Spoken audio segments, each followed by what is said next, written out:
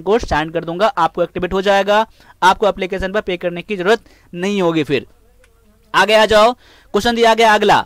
क्या दिया गया है? Attempt the question as per the instruction given for इस क्वेश्चन अब यहाँ पर आपको पी क्यू आर एस का सेंटेंस है, बनाना है आपको। तो देख लीजिए क्या यहाँ पर है कि Mister Sharma is so duty conscious that देखिए, मिस्टर शर्मा जो है, बहुत ज़्यादा ड्यूटी का कंसिस है। इसलिए क्या करता है? इसलिए क्या करता है? फोर दी होल डे क्या करता है? फोर दी होल डे अब यहाँ पर जो भी सेंटेंस लग रहा है, आगे से, पीछे से मैच करवाने का मैच करवा लीजिए।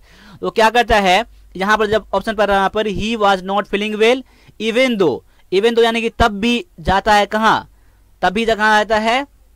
वो ऑफ़िस जाता होगा and work hard he went to to the office देखो ही अगर मैं यहाँ देख रहा हूँ, अगर मैं देखो सेंटेंस स्टार्ट करने के कहीं भी से कर सकते हो, मैं शुरू से बता रहा हूँ आपको, देखो जब मैं इसको बना रहा हूँ तो ग्रामेटिकल दिख रहा हूँ ऑप्शन दिख रहा हूँ ठीक है मीनिंग दिख रहा हूँ सेंटेंस अरेंज करके मैं किसी भी तरह से मैं देख रहा हूँ मुझे बनाना है आपको। ये चीज़ करने के लिए ना जब कब बनेगा आपका? जब इस पर प्रैक्टिस बहुत ज़्यादा करो, करोगे तभी बनेगा। इसका कोई रूल नहीं होता है ये फिक्स रूल नहीं होता। ऐसा आपको ग्रामर में आप प्रपोजिशन ले लो आर्टिकल ले लो इसका फिक्स रूल होता है कि यही मुझे करना है। लेकिन ये आपका बनाने के लिए आपके माइंड को देखा जाता है आपको टेस्ट करता है कि कितना प्रेजेंस ऑफ़ माइंड आप यूज़ कर रहे हैं आप। तो ये बनाने के लिए प्रैक्टिस जितना अधिक हो सके करो और जितना अधिक हो सके इंपोर्टेंट क्वेश्चन करो। इसीलिए जो आपका क्लर्क का जो मैंने बना रखा है वीडियो कोर्स आपका इंग्लिश का जो है ई बुक है, ठीक है, वो सब ज़रूर आप करना। आर्मी क्लर्क के लिए इंपॉर्टेंट बहुत ज़्यादा है। यहाँ क्या देखो and work hard for the whole day अगर मैं ये कर रहा हूँ work hard for for the whole day तो यहाँ आर क्या हो जाएगा? सबसे लास्ट में यहाँ हो जाएगा ना यहाँ पर। देखो आर लास्ट इसमें दिया गया है, बस देख लो यहाँ पर। क्योंकि देखो, आप स्टार्ट कहीं से भी करो, जो आपको लग रहा है ना, कि आप इसी में देख लो, पहला क्या हो जाएगा, दूसरा क्या हो जाएगा, यहाँ से भी कर लो, कोई दिक्कत नहीं है। अब मुझे लग रहा है आर यहाँ लग रहा है मुझे आर यहाँ हो जाएगा डायरेक्टली और आर किसी में नहीं है तो मैं चेक कर लूँगा, क्या क्यू से स्टार्ट हो सकता है आपका? देखो, कोई दिक्कत नहीं है, अगर स्टार्ट हो जाएगा क्यू से तो अगर मेरा ये आंसर सही होगा तो क्यू मैच करेगा पी मैच करेगा एस मैच करेगा, फिर आर मैच कर जाएगा। तो Mister Sharma is so duty conscious that that even though even though he was not feeling well अगर वो, यहाँ तक कि अगर वो जब भी मतलब अगर वो बीमार भी रहता है, उसके बाद S C went to the office देखो, बिल्कुल मैच कर रहे हैं यहाँ पर। बीमार होने के बावजूद भी वो ऑफ़िस जाता है और and work hard for the health और पूरा दिन में कड़ी मेहनत करता है। तो ऑप्शन नंबर देखो बी जो है पूरा पूरा मैच कर रहा है। देखो, कितना मैं आपको समझा रहा हूँ, किस तरह से समझा रहा हूँ, कैसे करने समझा रहा हूँ ज़रूर देख लीजिएगा आप लोग, ठीक है? और आप भी प्रैक्टिस ऐसे करिएगा। तो क्लास को लास्ट ज़रूर देखना आप लोग। परेशान मत होना है आपको। बोरिंग यहाँ नहीं होना है। बस आपको ध्यान देखना है यहाँ पर। ठीक है? अब आगे आ जाओ। The budget particularly the salaried middle class ठीक है? अब यहाँ पर क्या कर रहा है कि ये दोनों फिक्स यहाँ पर है। आपको देखना देखना है क्या है। देखो particularly salaried middle class the budget the budget के बाद क्या हो जाएगा? विथ हाई एग्जामेशन ये हो सकता है यहाँ पर। द बजट बाय और टैक्स पेयर ये तो आपका होगा नहीं यहाँ पर। क्यू से स्टार्ट नहीं होगा। बजट ऑफ़ टैक्स रिलीफ देखो, ये भी एक तरह से हो सकता है, लेकिन ग्रामेटिकली लेकिन इसका मीनिंगफुली नहीं लग रहा है मुझे तो आपका आर में नहीं होगा। अगर मैं ऐसा कर दूँ कि the budget is being awaited जब बजट जो है, जो अभी आने वाला है बजट जो आने वाला है, वो क्या है?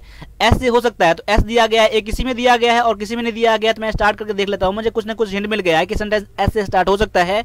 तो मैं देखता हूँ कि एस मेरा सही हो जाएगा मेरा तो पी आर क्यू भी मैच करना चाहिए यहाँ पर।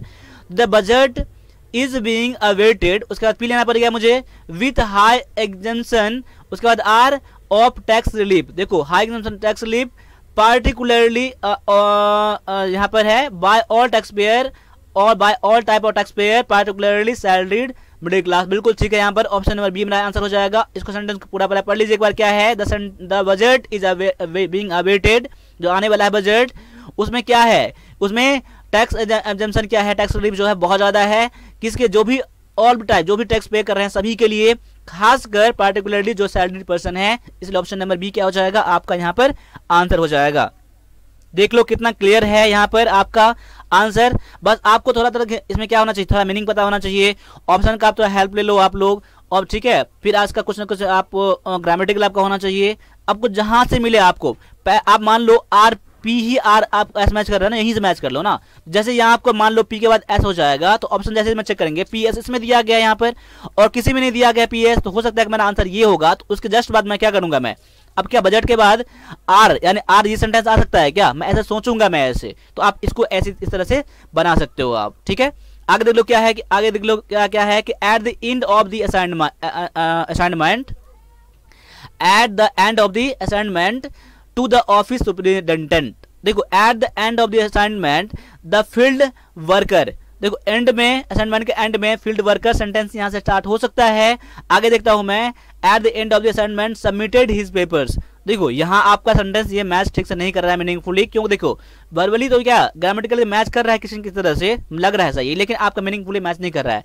इस बार कुछ ना कुछ और कह रहा होगा तो एंड देखियो end of the assignment submitted his paper अभी हिज किसके लिए भी आया है? कुछ पता अभी नहीं यहाँ पर है। इस सेंटेंस आपका क्यू से स्टार्ट नहीं होगा।